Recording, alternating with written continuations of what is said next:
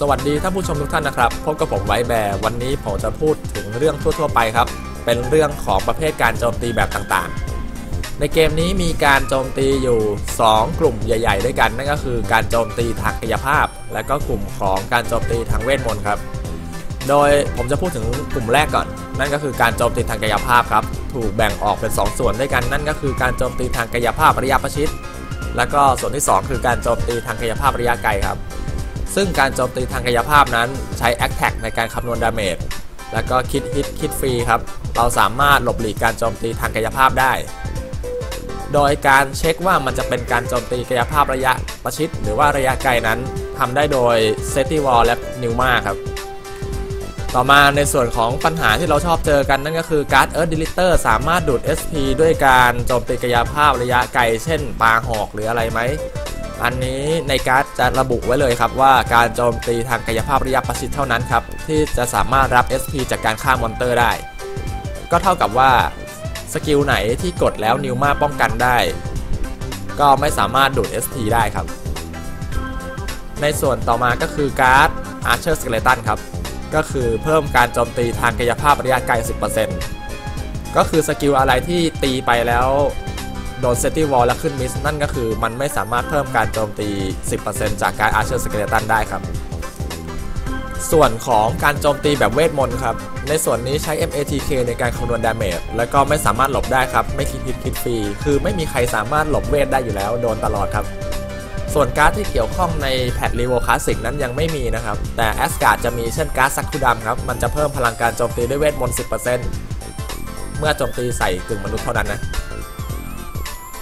อาชีพ Rogue ครับจำ skill Bowling Bash มาใช้ และถืออาวุธประเภทธนูจะเป็นการโจมตีทางกายภาพระยะไกลหรือไม่คำตอบคือไม่ครับ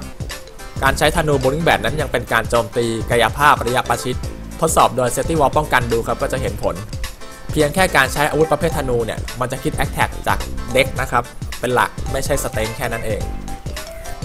ถึงช่วงทดสอบครับเดี๋ยวผมจะไปทดสอบกันที่ serv Asgard นะครับเพราะว่า ที่ serv Asgard นั้นผมมีอาชีพที่จะทำ damage ได้ทั้ง 3 แบบครับ โอเคครับ ตอนนี้ผมก็มาอยู่ที่ serv Asgard และอยู่ PVP ครับ ตอนนี้เรามีแขกรับเชิญมาคนหนึ่งนะคุณมินครับ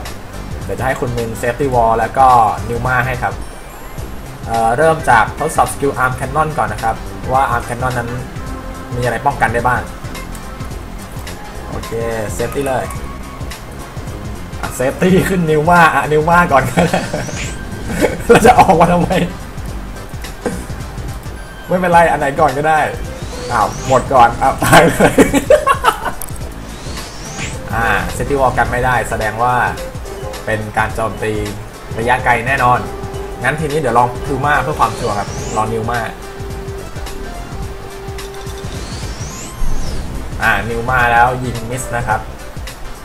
ต่อมาครับทดสอบ Axe Tornado ครับ อ่าขึ้น miss ครับ อ่าอันนี้ Pneuma กันไม่ได้ครับ เป็นการโจมตีกายภาพระยะประชิดนะครับ เรามาทดสอบเวท โอเค Pneuma กันเวทไม่ได้ อ่าอ่า Safety Wall ก็ไม่สามารถกันป้องกันได้นะครับ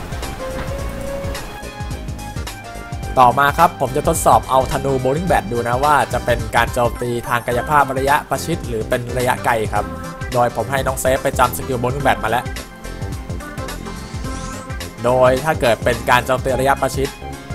อยู่ในเซตตี้วอลมันต้องขึ้นมิสครับ อะทดสอบได้